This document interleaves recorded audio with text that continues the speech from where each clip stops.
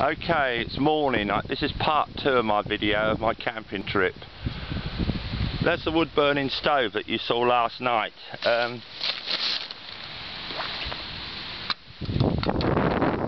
there's the chimney parts which go together neatly in the oven. It's called a Yukon stove.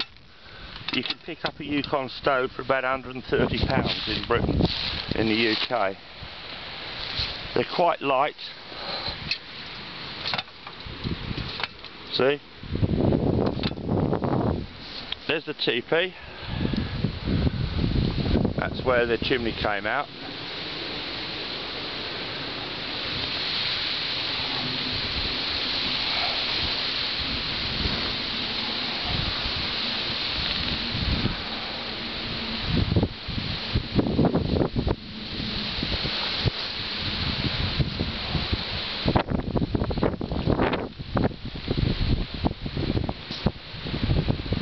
Uh, these um, doorway here is done up with latchings. There's like uh, where you can put pins through. You see, very good, very good quality.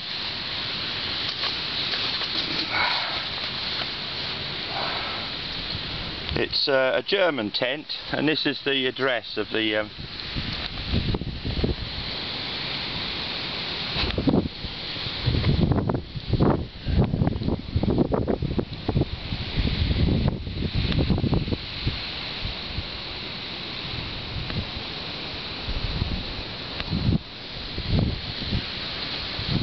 They're the people that made the tent. They're very good quality.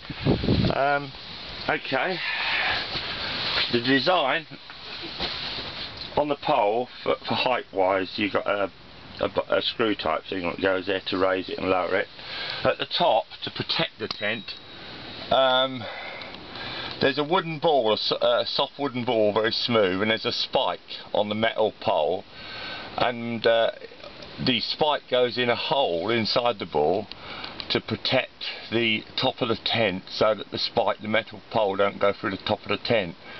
It's just basically the hole's got, uh, the wooden ball's got a hole in it and the metal pole's got a thin spike and they fit together in there and it's, it, it's uh, just protect the top really. And this is the inside interior from the doorway. This particular tent is three and a half metres across. Very good quality and uh, they're made in Germany. I mean Germans make good cars and stuff so you know I've had no problem with it.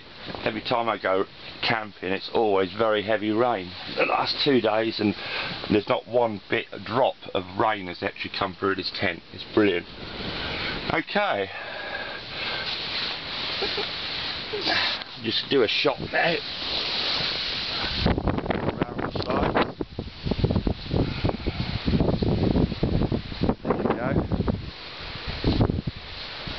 These are the strings. What I tie down onto the pegs there. And those strings there's two of them. One on that corner one on that corner. And that's where the smoke flap is. You can alter the the, uh, the smoke flap by getting hold of this string and moving it that way or getting hold of that string and moving it that way or bringing the whole thing over the top and opening the smoke flap if you get excess smoke. Okay that's it, that's the end of the video and thanks for watching.